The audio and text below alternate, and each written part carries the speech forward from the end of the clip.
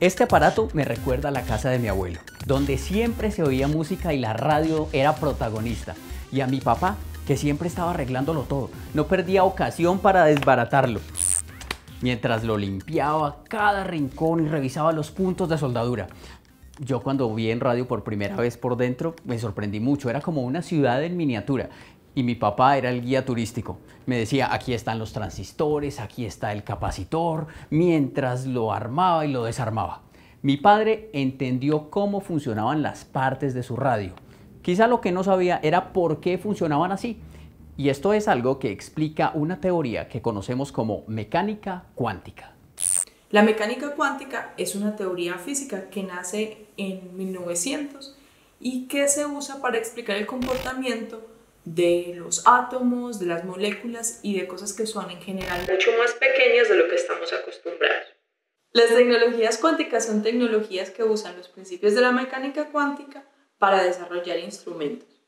Crear tiene ingenio, la ciencia, la tecnología y la innovación detrás de lo que perciben nuestros sentidos. Hoy hablaremos de tecnologías cuánticas.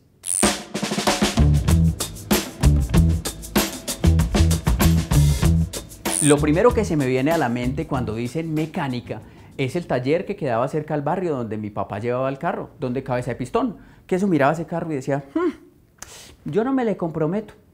También pienso como en engranajes y movimientos, pero cuando me dicen cuántica, ahí sí, les digo sinceramente, quedo como reina en mis universo cuando les hacen esas preguntas todas horribles para corcharlas. Señores del jurado, no se me ocurre nada. La, idea misma de que existe un átomo y la composición que entendemos ahora del átomo se la debemos a la mecánica cuántica.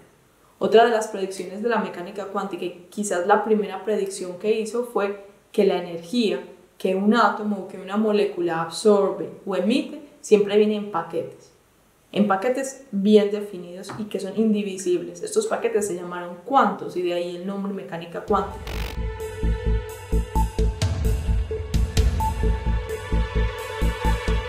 La luz tiene un, un componente mínimo que es el fotón, la electricidad tiene un componente mínimo que es el electrón. Ricaurte en San Mateo, en átomos volando. Cuando escuché esa, la decimoprimera estrofa del himno nacional, yo no sabía dónde quedaba San Mateo, ni quién era Ricaurte. Yo me imaginaba un señor volando en un átomo, pero es que yo no sabía mucho de átomos. Es más, yo me preguntaba cómo una bomba y una olla, las dos podían ser atómicas. Pero en realidad el átomo es la parte más pequeña en la cual se puede partir cualquier material. O sea, pobre Ricaurte. ¿Ah? La mecánica cuántica es la que estudia las propiedades de los átomos y cómo se relacionan entre sí. Y son esas propiedades las que se han utilizado para solucionar muchos problemas de la vida diaria. Y la medicina sí que ha sabido cómo aprovecharlas.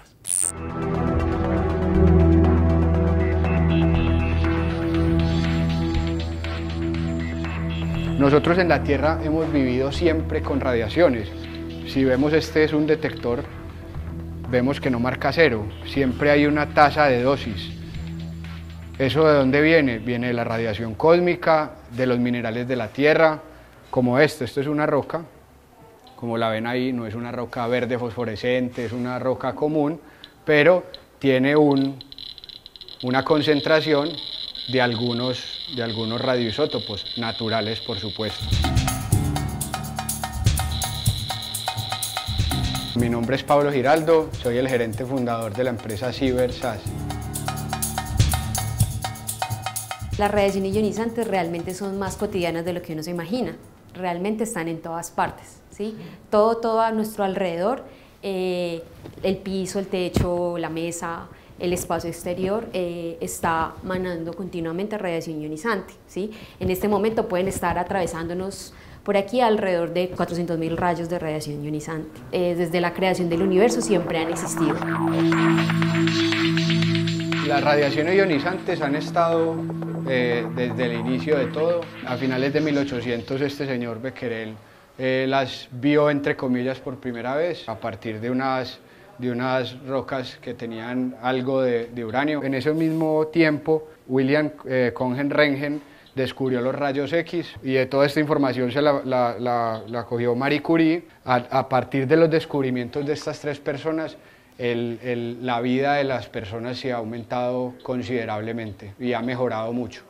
Entonces las radiaciones ionizantes son un descubrimiento excepcional eh, que traen consigo un riesgo de cáncer, un riesgo de muerte, un riesgo de abortos. Hay un montón de cosas que nos pueden pasar y por eso existe la protección radiológica, que es lo que hacemos nosotros.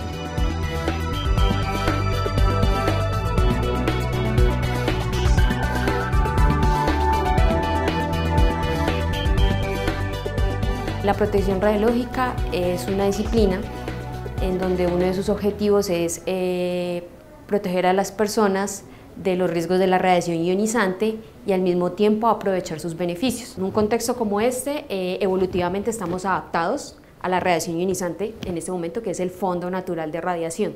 Pero hay otros contextos, eh, digamos desde la técnica, por ejemplo, aprovechamos la radiación ionizante para tomar imágenes de las partes internas de nuestro cuerpo. Entonces, eh, en esa parte es un contexto un poco diferente al fondo natural y esa radiación debe ser controlada para que definitivamente sí tengamos el beneficio de tener una imagen de nuestro cuerpo y limitando el riesgo que tiene porque es una circunstancia diferente a la radiación cotidiana.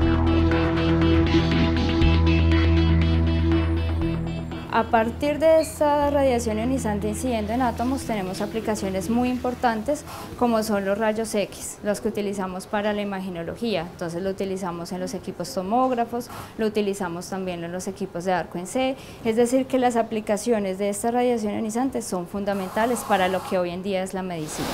Las tecnologías cuánticas se clasifican, mm, digamos, en dos olas.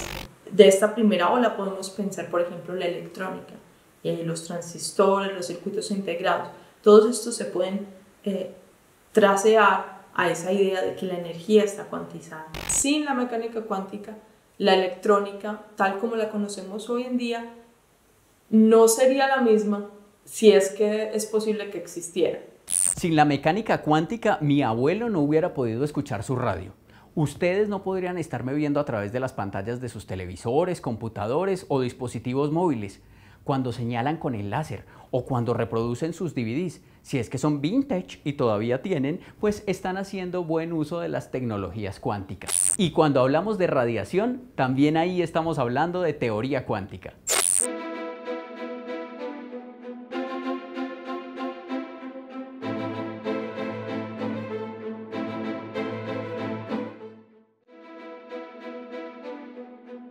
Los científicos de principios del siglo XX tenían claro que todos los objetos emitían energía dependiendo de su temperatura. Dos de ellos, John Rayleigh y James James, decidieron demostrar cómo estaban relacionadas la frecuencia de la energía emitida y la temperatura. Basados en las teorías de entonces, concluyeron que un objeto negro a temperatura ambiente tendría que emitir una cantidad infinita de energía en forma de radiación ultravioleta. No era posible. Esta errónea predicción se conoció como la catástrofe ultravioleta y evidenció la necesidad de una teoría más precisa para entender la radiación. El matemático y físico alemán Max Planck se puso en la tarea de resolver este problema. Sus indagaciones lo llevaron a concluir que la energía no es continua y que por el contrario se emiten paquetes a los que llamó cuantos, que además son indivisibles. Algo así como que el átomo es a la materia lo que el cuanto es a la energía. Era el año 1900 y esta propuesta no solo resolvió la catástrofe ultravioleta, sino que estableció los cimientos de la teoría cuántica. El mundo le debe a Planck el inicio de la mecánica cuántica y la opereta Amor en el bosque, porque también era músico. Su opereta no fue tan popular, pero su contribución a la teoría cuántica lo hizo merecedor del Premio Nobel de Física en 1918. Por ese mismo tiempo, Albert Einstein aplicó la teoría de Max Planck para explicar por qué grandes cantidades de luz pueden cargar eléctricamente algunos materiales. El premio Nobel que recibió Albert Einstein en 1921 no es por la teoría de la relatividad, sino por explicar el llamado efecto fotoeléctrico. ¿Qué es la catástrofe ultravioleta? Una teoría fallida. Max Planck y Albert Einstein ganaron el Premio Nobel de Física por sus contribuciones a la teoría cuántica. Un siglo después, sus descubrimientos siguen dando frutos. Hace poco, IBM presentó los avances de un computador basado en tecnologías cuánticas. La verdadera novedad es que su volumen cuántico es de 32. Eso significa que es súper poderoso y que puede resolver problemas de muchísima complejidad, casi como ni nos podemos imaginar ahora. Mientras los computadores convencionales usan bits, estos usan bits cuánticos, capaces de intercambiar esos paquetes de energía que descubrió Max Planck. Pero, ¿De qué otras formas podemos aprovechar las tecnologías cuánticas? Además de esta característica de, los sistemas cuánticos de intercambiar energía en paquetes en cuanto, hay otra eh, idea importante y es que estos sistemas cuánticos no están obligados a estar en un estado u otro. Un balón, por ejemplo, tiene que estar o en la mesa o en el suelo. Un átomo no tiene necesariamente que elegir, él puede estar simultáneamente en la mesa o en el suelo o en la mesa, en el suelo y en la silla. Este principio que se llama el principio de superposición es el que ahora se explota en una segunda ola de, tecnologías cuánticas. En esta segunda ola lo que vemos es que hay, mm, digamos, tres ramas. Está la computación cuántica, la comunicación cuántica y los sensores cuánticos. Mucha de la tecnología que se está desarrollando ahora es basada en sensores, es basada en poder medir más precisamente cosas que son más pequeñas, como es basada en poder medir eh, cantidades de luz que son más pequeñas o, o medir electricidad que es muy, muy, muy, muy, muy débil, señales eléctricas que son muy débiles. Lo que va a permitir la tecnología cuántica, por ejemplo, al menos con la parte de sensores, es tener sensores aún mejores, aún mejores de lo que, de lo que es posible ahora. Mejores, más pequeños, más baratos, que eso son también consideraciones que son importantes. Eh, mi nombre es Nini Gómez Lazo, eh, yo soy ingeniera física. Las radiaciones ionizantes eh, tienen algo y es que la escala es atómica, es del tamaño del átomo o un poco menos. En esta escala, eh, la física clásica o la física estadística no tiene suficientes explicaciones de cómo son estos fenómenos. La mecánica cuántica ayuda a entender cómo son estas interacciones físicas de la radiación ionizante con la materia. ¿Por qué razón? Porque eh, en esta escala eh, hay un concepto que es la energía y no es continuo sino que la energía es discreta. La energía solo en ciertas circunstancias, eh, estas partículas las llevan de un lugar a otro y eso la física normal no lo puede explicar. Entonces, para poder entender el fenómeno es necesaria la mecánica cuántica, ¿sí? Y en la medida que se pueda comprender y en la medida que, en que hayan esfuerzos académicos sobre, sobre el estudio de esta, entonces se va a poder aplicar a la tecnología. Entonces, debido a que la escala de penetración es menor que el átomo y nuestra incapacidad de percibirlos con nuestros sensores normales, entonces se han construido eh, unos instrumentos que eh, permiten detectarlas. ¿Y en qué se basa en esa detección? Pues en ese efecto, en esa capacidad que tiene la radiación ionizante de ionizar. A lo largo pues, de, las décadas lo que ha ido mejorando es que se se ha ido eh, volviendo más compacto ese sistema de procesamiento y esos tiempos para medir se han reducido significativamente, ¿cierto? Entonces ya de tener un aparato eh, voluminoso, eh, hemos llegado a este punto donde la parte que alimenta ese voltaje alto es una, aquí una simple batería y el sistema de procesamiento es un chip semiconductor súper pequeño. ¿sí? Entonces, esas han sido las mejoras y, por ejemplo, la tecnología semiconductora eh, también tiene que ver con principios cuánticos, del entendimiento de los principios cuánticos para mejorar esas versiones de semiconductores que se utilizan en estos dispositivos. Hay un punto de partida físico que es la ionización, ¿cierto? Pero específicamente cuando ocurre en individuos biológicos, eh, eso tiene un riesgo. ¿sí? Entonces, la manera de cuantificar ese riesgo es a través de la dosimetría. ¿Sí? Entonces, la dosimetría es un reflejo de esas interacciones físicas, de esas propiedades físicas, pero teniendo en cuenta ese componente biológico que tiene un riesgo.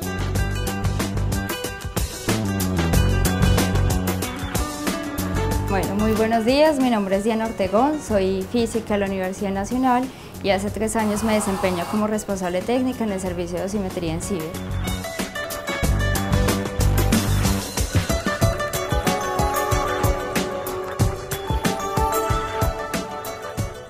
Es muy importante que estas personas que trabajan con radiaciones ionizantes estén sujetos a una vigilancia dosimétrica. Es importante que midamos cuánta dosis de radiación están recibiendo, que evaluemos y además verifiquemos que esa dosis está dentro de unos límites permitidos. ¿Cómo lo hacemos? Les damos un dispositivo que es el dosímetro para que les mida esa dosis de exposición. En Ciber en este momento trabajamos con una tecnología de dosimetría que es la tecnología termoluminiscente. Este dosímetro está compuesto por cuatro cristales si ustedes lo pueden ver acá en la imagen. Dos de esos cristales son sulfato de calcio, los otros son borato de litio. Este es el corazón del dosímetro. Esta carcasa va dentro de un portadosímetro que le permite al usuario utilizarlo siempre en su jornada laboral a la altura del tórax. Una vez ellos lo usan, es sometido a este campo de radiación, lo devuelven para la lectura. Yo los ubico en este dispositivo y la máquina va procesando uno a uno cada uno de estos dosímetros ella hace la lectura de cada uno de los cristales y fijémonos que para cada uno me da una curva característica. Esta curva característica se conoce como una curva de brillo y es por así decirlo como la huella digital de nuestro dosímetro y eso es lo que el equipo, un software especializado, me convierte en un número. Entonces me da el valor de dosis para cada uno de esos cristales y por medio de un algoritmo ya tiene en cuenta cada una de esas cuatro respuestas para darme un valor final de dosis recibida por el usuario. Hay muchos, muchos tipos de sensores cuánticos y los puedes clasificar dependiendo del sistema cuántico en el que se basa o del tipo de medidas que hacen. Hay sensores cuánticos que miden eh, electricidad o campo magnético.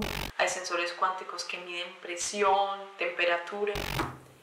Ahora mismo los, sistemas, los sensores cuánticos que son más comercializados son aquellos que miden el campo magnético, en particular campos magnéticos provenientes, provenientes por ejemplo, de nuestro cuerpo, como ese, ese tipo de sensores en el que se basa eh, la resonancia magnética.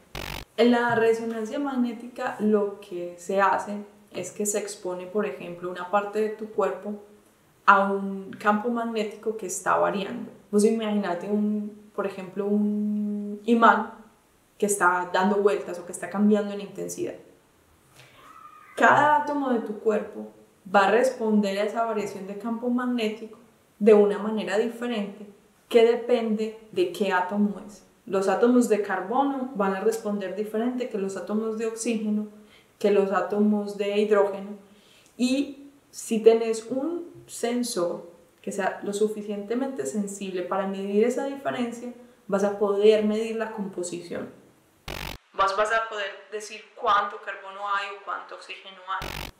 Y esto es lo que pasa en, en una resonancia magnética computación cuántica, sensores cuánticos, metrología cuántica, óptica cuántica, relojes cuánticos, simuladores cuánticos, información cuántica, cuántica, cosa cuántica. Ya vimos la utilidad en la computación, pero por ejemplo, los simuladores cuánticos van a permitir estudiar sistemas complejos de lo que sea. Los relojes cuánticos van a medir el tiempo con la más alta precisión usando ciclos en los átomos y la información cuántica promete que el tránsito de la información y su almacenamiento será infinitamente más segura de lo que es ahora. La idea detrás de, la, eh, de las comunicaciones cuánticas es usar los estados cuánticos de la luz para transmitir y para codificar la información. La luz es lo más. No hay nada que viaje más rápido que la luz. No conocemos nada y posiblemente no exista nada. Entonces, en comunicaciones lo más fácil o lo más rápido a lo que puedes acceder es a comunicarte usando luz, explotando ese principio de que la luz va súper rápido. En particular, respecto a la seguridad, mm, hay un subcampo de estas informaciones cuánticas que se dedican a la criptografía, es decir, a las tecnologías que hacen posible comunicarse de manera segura. Lo que las tecnologías cuánticas quieren ofrecer es una forma de mm, codificar la información de una manera secreta, de una manera segura, que no dependa de, digamos, de las posibilidades de un adversario, sino que dependa solamente de las características físicas del sistema.